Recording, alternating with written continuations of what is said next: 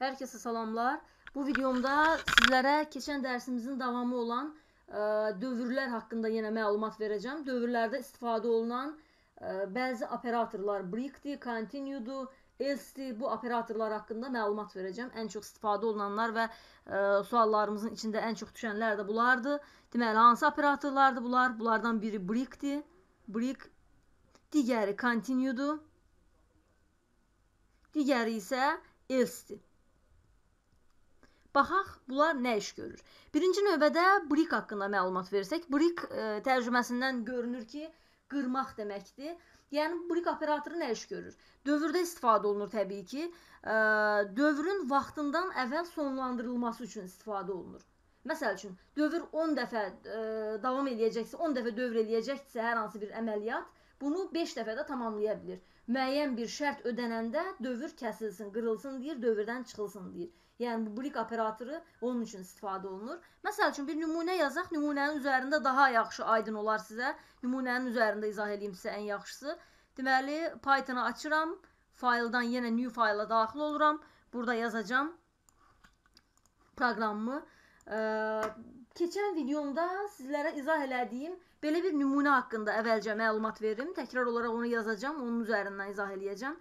Məsəl üçün, yazırdım i bərabərdir 0 i bərabərdir 0.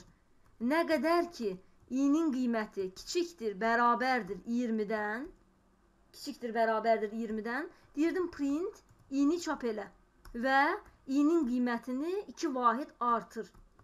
Bu nəyi ekrana çıxarırdı? Bu 20-yə e, qədər, 0-dan 20-yə qədər, 20-də daxil olmaqla olan ədədlərin içərisindən cüt ədədləri ekrana çıxarırdı. 0 kiçik bərabər 20-dən doğrudur sıfırı çap elə, yəni i-nin qiyməti olan sıfırı çap elə. Ə, sıfırı 2 vahid artır, yenidən i-yə mənimsət, eləsin i-nin qiyməti 2.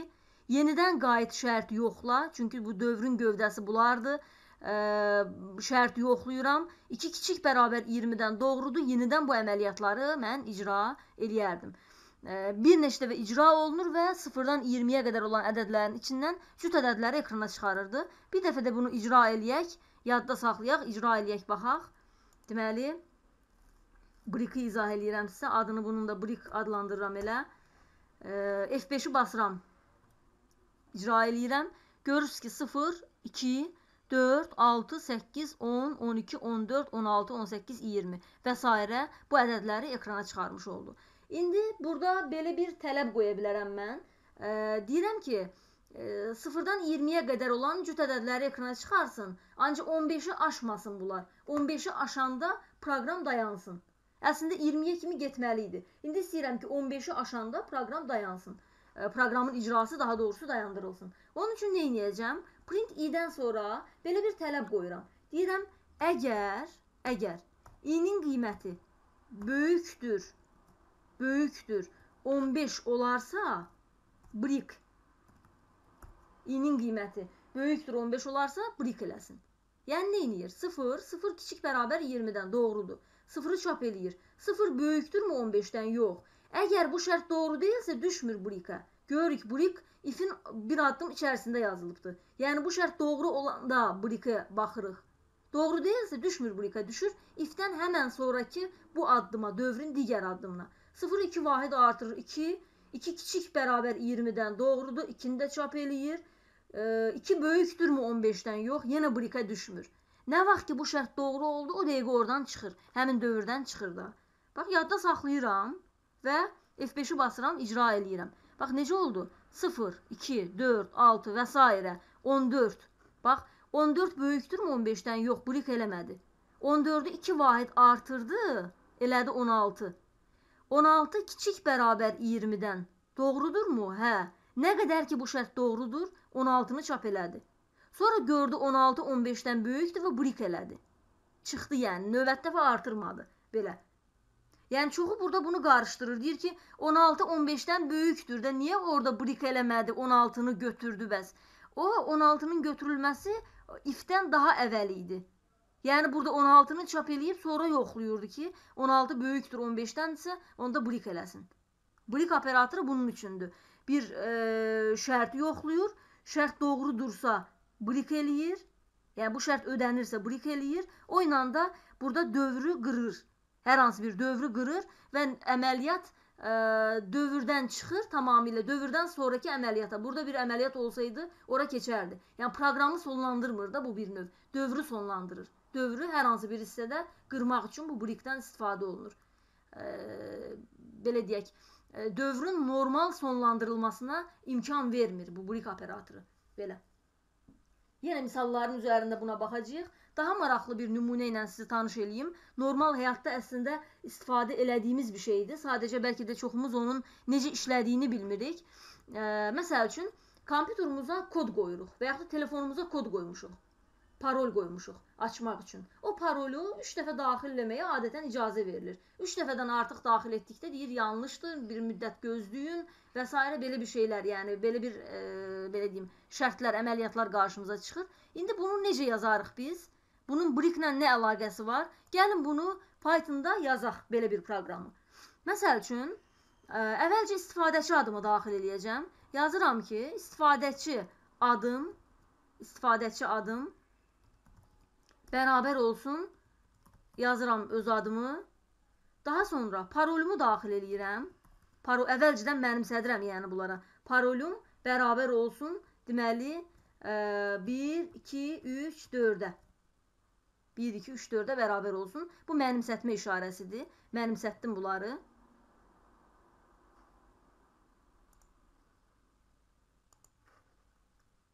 Aha, Daha sonra giriş haqqı neçə dəfə olsun? Giriş haqqını əvvəlcədən də yenə təyin elədim. Deyirəm giriş haqqı 3 dəfə olsun. Bərabərdir yazıram 3-ə. Giriş haqqında yazıram 3. İndi şərt qoyuram burada. Deyirəm nə qədər ki, nə qədər ki giriş haqqı giriş haqqı dəyişənlərin adında bilirdik ki, boşluq işarəsi olmaz. Ona görə altdan xətt qoydum. Giriş haqqı böyükdür, sıfırdandırsa 2 nöqtəmi qoyuram. Nə qədər ki deyirəm sıfırdan böyükdürsə, giriş haqqını bir vahid azalt hər dəfə. Minus bərabərdir 1 yazıram, bir vahid azalt. İstifadəçi adını daxil elə klaviaturadan. İndi mən əvvəlcədən mənimsətmişdim, indi başqa istifadəçi adını daxil elə. Yazıram istifadəçi adı özümün yox, yəni sadəcə istifadəçi adını daxil edib özümünki ilə müqayisə eləyəcək. İstifadəçi adı bərabər olsun input yazıram bunun içərisində. Deyirəm istifadəçi adınızı daxil edin. İstifadəçi adınızı daxil edin. 2 nöqtə. Daha sonra parolunuzu daxil edin deyirəm. Parol daxil olunsun. Parol bərabərdir. Yenə yazıram input. Parolunuzu daxil edin.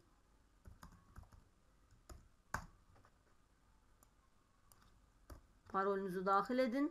Ə, sonra buradan sonra yazıram. Deyirəm əgər bax biraz boşluq qoyuram ki, onlar bir-birindən fərqlənsin. Deyirəm əgər istifadəçi adı bax bu klaviaturadan daxil olunan istifadəçi adı bərabərdirsə mənim istifadəçi adıma klaviaturadan daxil olunan bax bu dəyişən adı buydu. Bərabərdirsə mənim istifadəçi adıma və yazıram and Parol da bax bu parol. Klaviaturadan daxil olunan bu parol.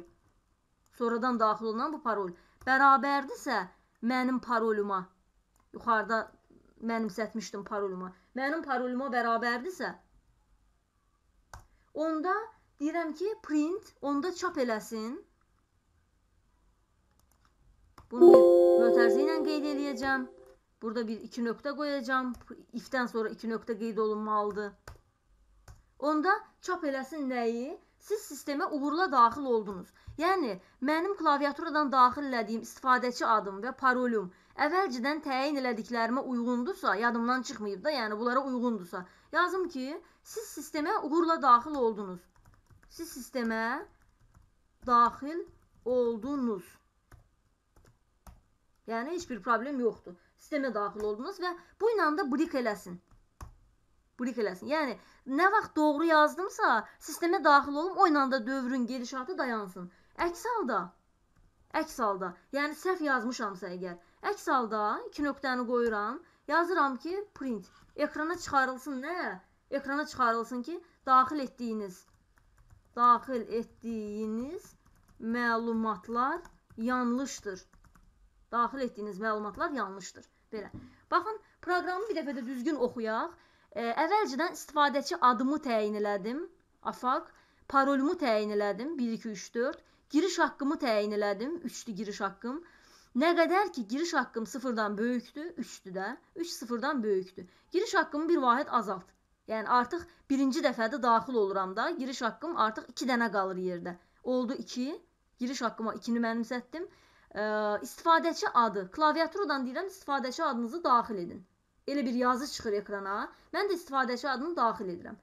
Parol bərabərdir. Parolunuzu daxil edin deyir. Yeni dəyişənlərdir bunlar. İstifadəçi adı və parolu daxil elədim. Uyğun olaraq bunlara mənimsətdim. Və dedim ki, əgər istifadəçi adı, yəni bu klaviaturadan daxil olunan istifadəçi adı mənim əvvəlcədən təyin elədiyim bu ada bərabərdirsə və eyni zamanda Bu klaviaturadan daxil olunan parol mənim əvvəlcədən təyin elədiyim paroluma bərabərdirsə, onda siz sistemə daxil olduğunuz yazısı ekrana çıxsın və brik eləsin. Dövr burada kəsilsin. Yox, bərabər deyilsə, yazılsın ki, daxil etdiyiniz məlumatlar yanlışdır və bu da dövrün addımıdır da. Təzədən qayıtsın bura. Bayaq istifa giriş haqqı 2 idi bayaq. 2 böyükdür 0-dan, doğrudurmu? Hə. 2-ni bir vahiddə azaltsın, eləsin 1. Yenidən bu əməliyyatları icra eləsin.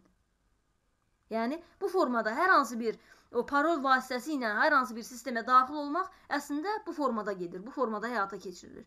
Yadda saxlayıram, Ctrl S-i vurdum, F5-i vururam. Deyir istifadəçi adınızı daxil edin. Əvvəlcə səhv yazacağam. Məsəl üçün yazıram info. Enter basıram, parolunuzu daxil edin deyir. La parolumu düzgün yazdım tutaq ki. 1 2 3 4 daxil elədim. Bax, deyir ki, daxil etdiyiniz məlumatlar yanlışdır. Yenidən istifadəçi adınızı daxil edin. Belə bir yazı ekrana gəlir. Daxil edirəm istifadəçi adımı. Parolunuzu daxil edin. Parolumu da daxil elədim. Deyir, siz sistemə daxil oldunuz. Belə. Əgər mən yenə yanlış daxil etsəydim, yenə deyərdi ki, istifadəçi adınızı daxil edin. Hər dəfə onu e, bizdən soruşardı. Nə vaxta qədər giriş haqqım nə qədərdir mənim? Giriş haqqım 3 dənədir. 3 3 2 1. Burada mən, yəni giriş haqqım burada sonlanırdı. Yəni Briki gördünüz nə iş gördü. Brik bayaq elə yəni birinci dəfədən baxıram şərt doğrudur, yox. Təzədən yəni Brikə düşmür. Əgər bu şərt doğru deyilsə, Brikə düşmür. Düşür elsə. Əks haldakı əməliyyatı icra eləyir. Yox, nə vaxt ki gəldi, gördü bu şərt doğrudur, Briki gördüsə orada proqramı qırır. Lap 100 dəfə normalda icra olunmalıydısa da, e, ikincisində Brikə düşdüsə, Briki gördüsə, orada dövrü qıracaqdı bu dövrün yerinə yetirilməsini qıracaq. Ona görə proqram deyirəm ki, burada dövrdən başqa bir dövr yoxdur, kənar bir əməliyyatlar yoxdur. Ona görə deyirəm, yəni normalda dövrü qırır bu. Briki görən kimi dövrü qırır, orada həmin dövrü sonlandırır. Dövrdən sonrakı əməliyyatlara daha keçirir, digər əməliyyatları icra eləyə bilər. Belə. Bu oldu Brik haqqında olan məlumat. İndi e, continue haqqında olan məlumata baxaq. Continue nə iş görür bəs? Continue davam etmək deməkdir. Necə olur burada? Kontinu ilə rastlaşdısa, yəni kontinunu gördüsə, dövrün yerdə qalan əməliyyatlarını icra eləməyə qoymur, başa qaytarır. Brik tamamilə dövrü qırırdı, dövrü tamamilə sonlandırırdı. Bu dövrü sonlandırmır. Bu, özündən sonra gələn əməliyyatların icrasına imkan vermir, təzədən dövrün şərtinin yoxlanmasına qaytarır. Yəni başa qaytarır təzədən.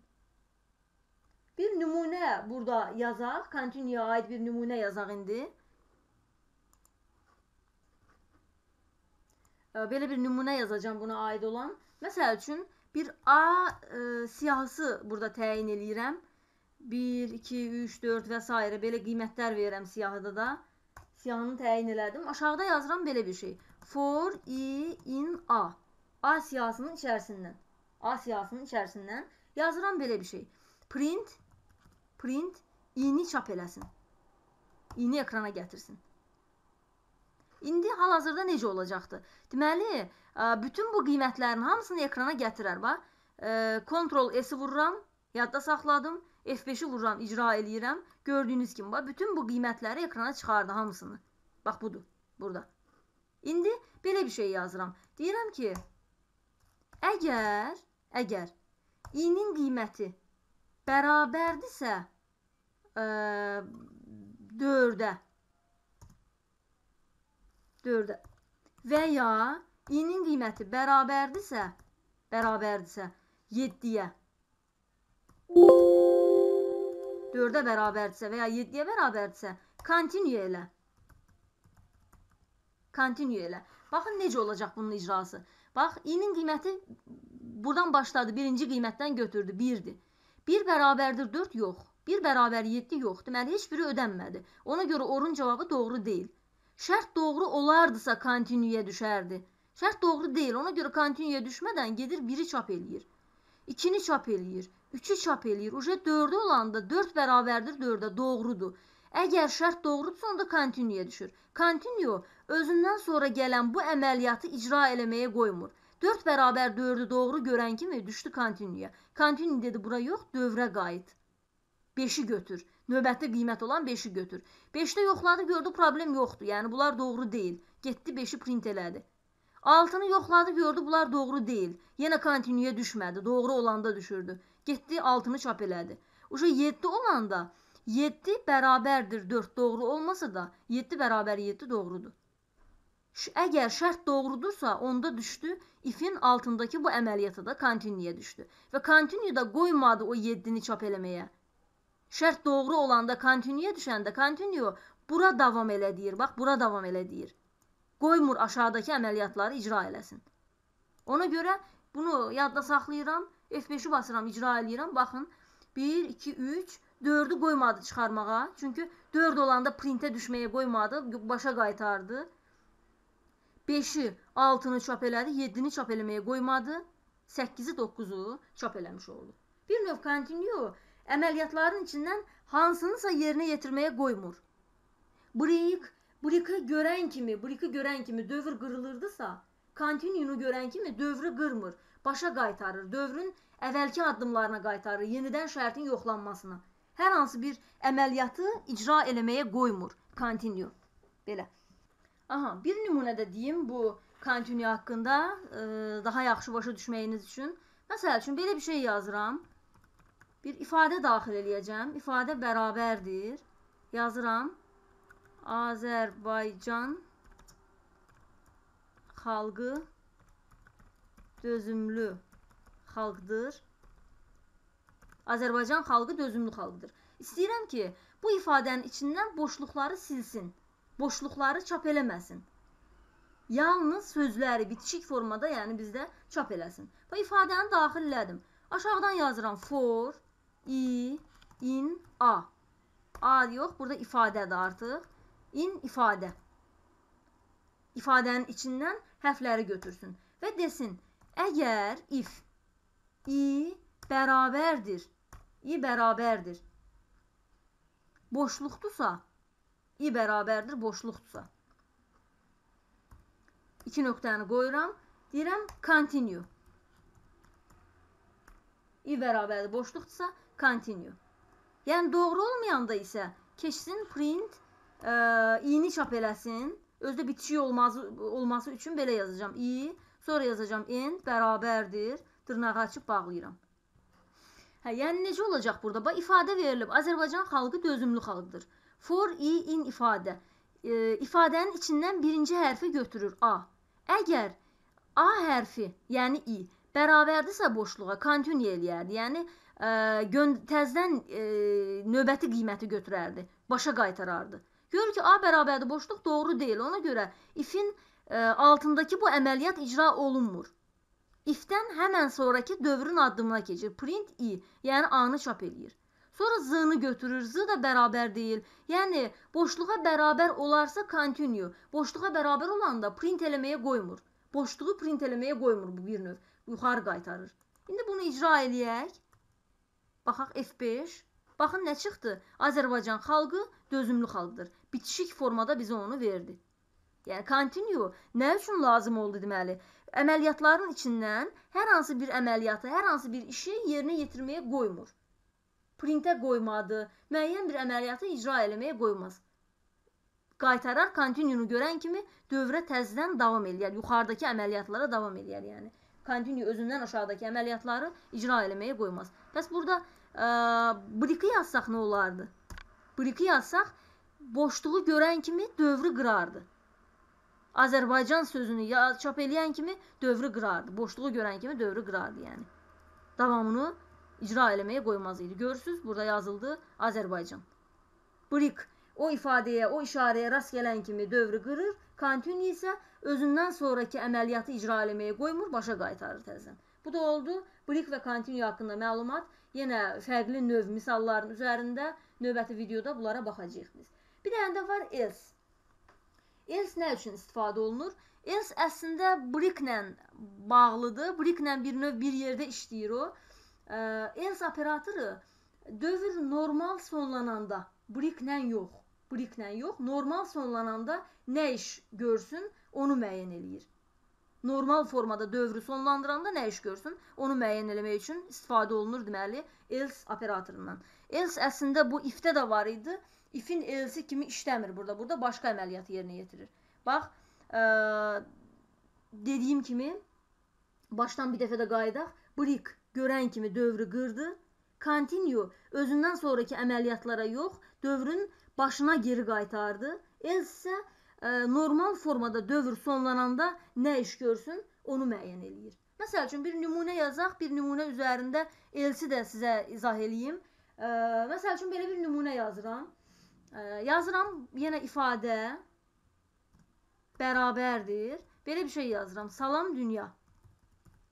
Adətən proqramlaşdırma dərsləri bu sözlə başlayır. Salam dünya. Aşağıdan yazıram for i in ifadə. For i in ifadə. Hərfləri bir-bir oradan götürsün. Yazıram ki, əgər, əgər i bərabərdir. i bərabərdir. Adısa, a hərfinə bərabərdirsə yazsın print A hərfi tapıldı. A hərfi tapıldı. Biz nə demişdik? İfadənin özünün içində dırnaq işarəsi varsa, demişdik ki, 3 dənə dırnaqdan istifadə olunar, onu ekrana olduğu kimi çıxarmaq üçün. Bax, mən də 3 dənə dırnaq işarəmi qoydum burada. A hərfi tapıldı. Yəni i-nin qiyməti a-ya bərabər olankən yazsın ki, a hərfi tapıldı. Bax, icra eləyirəm. Bax, a hərfi tapıldı, a hərfi tapıldı, a hərfi tapıldı. Niyə? Çünki s-i götürür ifadənin içindən. S bərabərdir a-ya, doğrudurmu? Yox, print eləmir. A-nı götürür, a bərabər a-ya, doğrudurmu? Hə, a hərfi tapıldı. Dövr qutarmayıb ki, burada. L-nı götürür təzdən. Növbəti əməliyyat üçün. Bax, keçir bura. L-nı götürür. L bərabər a, doğrudurmu? Yox. Onda printə düşmür. Dövr davam eləyir də. If qutarmayıb ki burada. Təzdən keçir. A-nı götürür, yenə doğrudur. Yenə deyir A hərfi tapıldı və s. Bu formada qeyd eləyir bunu. İndi mən bura bir dənə brick yazım. Printin altından brick yazım. Brick yazsam nə olacaq? Yadda saxlayıram. Brick yazsam nə olacaq? Bir dəfə A hərfi tapılan kimi brick eləyəcək. Daha davamını icra eləməyə imkan vermir. A-nı tapan kimi, printi icra eləyən kimi orada da dövrü qırır. Yəni ehtiyac görmür ki, bir neçə dəfə o əməliyyatı yerinə yetirsin. Bir dəfə icra olunur, o ilə kifayət eləyir. Yadda saxlayıram, F5-i vururam. Baxın nə yazıldı? A hərfi tapıldı. Əvvəl 3 dəfə yazmışdı, indi bir dəfə yazdı. A hərfi tapıldı. Yəni bir dəfə rast gələn kimi ona dövrü qırdı. Növbəti əməliyyatlar üçün imkan vermədi daha ona. Belə. İndi burada else nə üçün istifadə eləyəcəkdim mən? Else-dən söhbət gedirdi. Dövr burada normal sonlanmadı. Bəs normal sonlanarsa, heç brika ehtiyac olmazsa, normal sonlanarsa nə iş görsün? Normal sonlanarsa, yazıram burada, bax, yazıram burada else. Əks halda print yazsın ki, A hərfi tapılmadı. Ee, içində yazıram bunun A hərfi tapılmadı. A hərfi tapılmadı. Yəni nə olacaq burada? A hərfi tapıldısa, brick eləyəcək. Yazacaq elə A hərfi tapıldı. Heç else düşməyəcək. Əgər tapılmasa nə iş görsün? Yəni proqram normal sonlanacaqdı da onda. Tapılmasa brickə ehtiyac olmayacaq. Heç vaxt brickə düşməyəcək. Onda nə iş görsün? Onda yazsın A hərfi tapılmadı. Bax icra eləyirəm. Yazıldı A hərfi tapıldı. Çünki bu ifadədə A hərfi var idi. İndi mən belə bir şey yazsam, tutaq ki info Yazıram bir də dərsi. Info dərsi. İfadəni belə yazıram. Ctrl S F5-i bastım, icra elədim. Yazdı nə? A hərfi tapılmadı. Niyə? Çünki dövr normal sonlandı.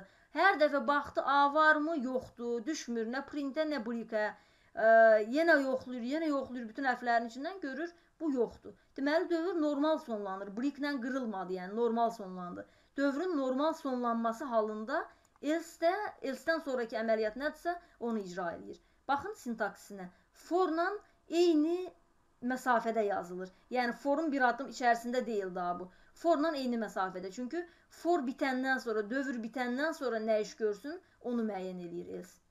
Bu da oldu deməli ə, break, continue və else operatorları haqqında məlumat bu dərsin nəzəri hissəsi idi. Misalların üzərində izah eləsəm də nəzəri hissəsi idi. Bundan sonraki videoda dövrün bütün bölmələrinə aid olan misallarla sizi tanış eləyəcəm. Orda ə, daha fərqli formalı misalların üzərində bunları bir dəfə də sizə izah eləyəcəm. Hələlik sağ olun.